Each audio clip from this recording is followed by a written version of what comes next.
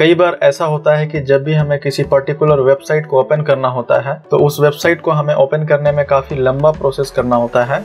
आज मैं आपको बताऊँगा कि आप अपने कंप्यूटर के डेस्कटॉप में व्हाट्सएप यूट्यूब या और भी किसी वेबसाइट का शॉर्टकट कैसे क्रिएट करेंगे, आप जिस भी वेबसाइट का रेगुलर यूज़ करते हैं, उस वेबसाइट का शॉर्टकट अपने डेस्कटॉप में क्रिएट कर सकते हैं। तो चलिए देखते हैं इसे कैसे करेंगे। तो सबसे पहले मैं अपने कंप्यूटर के ब्राउज़र गूगल क्रोम को ओपन कर लेता हूँ।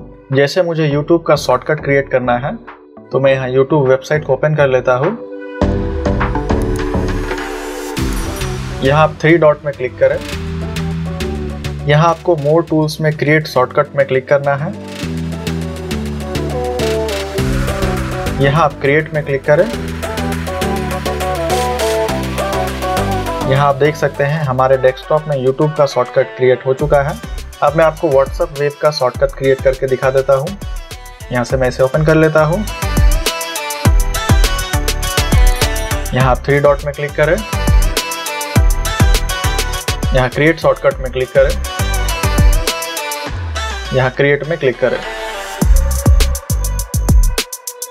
यहाँ आप देख सकते हैं हमारे डेस्कटॉप में व्हाट्सएप का शॉर्टकट आ चुका है।